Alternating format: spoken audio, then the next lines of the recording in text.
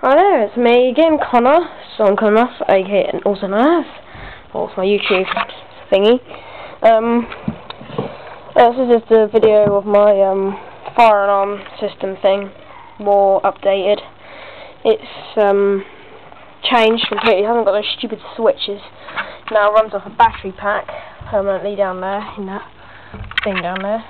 That though just there for other things. Um, got these call points, KAC things and uh, they don't have glass, they're resettable ones, I think that's what they're called. Yep. So I'm just gonna, you know, set it off by, um, hmm, I'll just use the test key. Don't want to push it, it's too much of a pain to. There we go. They're loud, aren't they? I'll probably complain, I'll just tell them I'm doing the video for YouTube. Uh huh. I am. Um.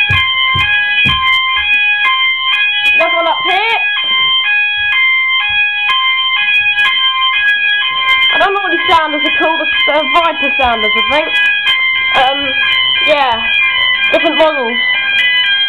So I'll just stop that. There we go. That's all I wanted to see, really. Um, that's about it. It's pretty good. It's going pretty well at the moment. Um, yeah, it still works quite well on 18 volts. There are two 9 volt batteries in there. Yeah, like, I don't think you heard me, but I think they're Viper Sounders.